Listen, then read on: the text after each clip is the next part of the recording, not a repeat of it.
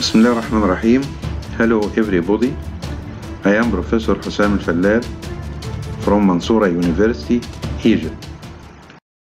Our subject today will be hydro maneuvers during vacuum emulsification and this includes hydrodissection and hydrodelineation. Hydrodissection is classified into conventional or intracortical hydrodissection and the second type which is cortical cleavage hydrodissection and this is the standard one. Conventional hydrodissection means injection of fluid into the cortical layer of the lens to separate the nucleus from the cortex and the capsule. What is cortical cleavage hydrodissection? This means a complete separation of the cortical fibers from its capsular attachment and this facilitates complete and easy removal of the cortex, hence minimizing postoperative capsular opacification. In cortical cleavage hydrodissection, the cannula is lifted up, tenting the anterior capsule, and then BSS is injected. This technique produces a clear-cut cleavage plane that separates all the cortex from the capsular bag. Some fluid gets trapped behind the nucleus because of dense cortical adhesions. So, after the fluid wave is completed, the nucleus is depressed with the cannula to release all the trapped fluid into the anterior chamber. Cortical cleavage hydrodissection ensures a complete cortical cleanup. The main objectives of hydrodissection are number one, to obtain an easy and complete nucleus mobilization, hence its easy rotation and manipulation throughout the phaco procedure, thus minimizing capsular and zonular stress. Number two, to help easy and complete cortical removal through cortical cleavage hydrodissection, hence minimizing post-operative capsular opacification. What are the tools necessary for hydrodissection? Though it is a very essential step during phacoemulsification, yet it is of a low technology. It needs a syringe and a cannula. What is the ideal syringe? Number one, it should be a small syringe. As a general rule, avoid large syringes for intraocular injection. Never use 5cc or 10cc syringes these are uncontrollable and can induce serious intraocular complications. Also, the 1cc syringe is a weak syringe and you cannot achieve a fluid wave. For better control of injection, a 3cc syringe is the most suitable. This syringe should have a Luer-Lock joint for securing the cannula. Half filling of the syringe with saline is sufficient for a better and smooth control of injection. The hydrodissection cannula should be a small gauge cannula. A 25 gauge is suitable. It should have a smooth edge and the flat-tipped cannula is preferable to rounded one as it easily separates the anterior capsular edge to facilitate its tenting. Now, what are the rules of hydrodissection? Number one, use the main incision. Never use the side port. To avoid severe elevation of the AC pressure and rupture of the posterior capsule. Introduce the tip of the cannula under the anterior capsular edge and the tip of the cannula should be perpendicular to the anterior capsular edge.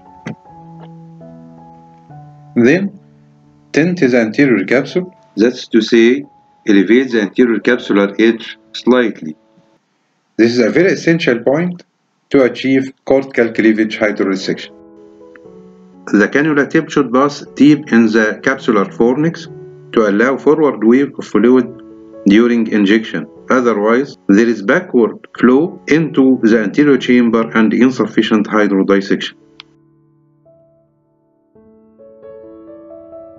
Before BSS injection, always remove some viscoelastic from the anterior chamber. The volume of fluid to be injected should be small. Injection should be rapid with controlled pressure to get a dissecting wave of fluid. All the time, observe the propagation of the fluid wave. And if you fail to get a fluid wave, try again in another quadrant. This dissecting wave will shear the adhesions between the lens capsule and the cortex. As hydrodissection induces a small degree of capsular block, decompress the capsular bag with the heel of the cannula. This helps propagation of the fluid wave anteriorly, completing the hydrodissection and preventing capsular block out. Now, what are the sure signs of hydrodissection? Any one or more of the following should be considered as sure sign of hydrodissection. Number 1. Direct visualization of the propagating fluid wave.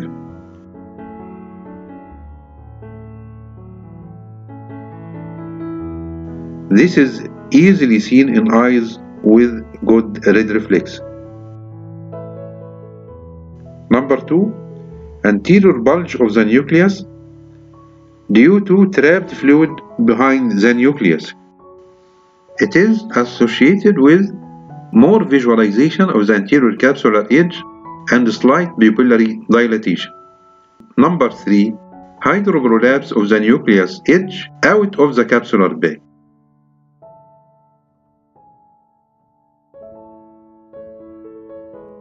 In this situation, try to reposit the nucleus again into the capsular bag to achieve regular endocapsular phacoemulsification. What are the contraindications of hydrodissection? Hydrodissection is absolutely contraindicated in opened lens capsule, as in cataract due to penetrating injuries and in cases of Argentinian flag sign. However, hydrodissection is relatively contraindicated in congenital posterior polar cataract. There is no need for hydrodissection in cases of intumescent cataract, as the cortex is hydrated and the nucleus rotates easily. How can the rhexis size affect the hydrodissection? A small rhexis facilitates fluid wave propagation as it traps the nucleus inside the capsular bag, while in large rhexis, BSS easily escapes out into the anterior chamber and the nucleus may be hydroprolapsed outside the capsular bag. Again, I remind you, never do hydrodissection in compromised rhexis. Now, what about hydrodissection and dense cataract? The problems here are multiple. Number one, the scars or the minimal cortex and epinucleus, which act as a cushion buffering the intracapsular pressure. Number two, the hard large nucleus can induce rapid capsular block, hence threatening the posterior capsule. Also, or number three, difficult visualization of the fluid wave. So, what are the precautions that should be considered in such cases? These include Number one, larger than usual rhexis size to facilitate easy egress of trapped fluid. Number two, inject as a little fluid as you can. Number three, perform multi-quadrant hydrodissection and all the time observe the anterior bulge of the nucleus. Also, decompress the anterior chamber and the capsular bag frequently.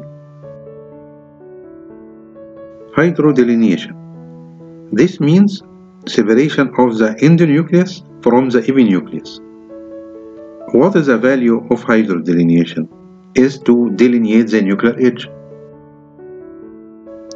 How can I do it? Pass the cannula tip inside the epinucleus till you feel resistance and inject a small volume of BSS, a golden ring will appear which means hydrodelineation. Is it essential in every case? For the beginner, it helps to create a buffer zone to prevent posterior capsular injury. Anyhow, Avoid hydrodelineation in soft cataract like grade 1 to facilitate removal of the epinucleus.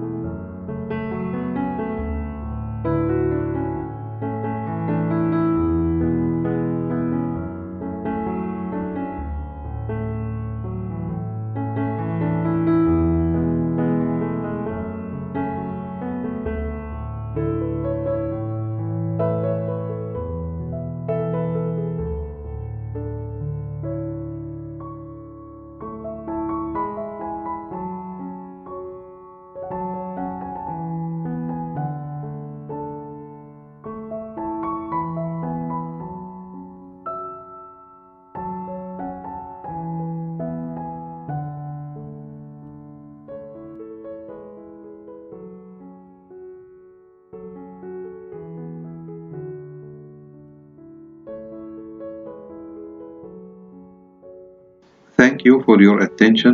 Waiting you on the next lecture.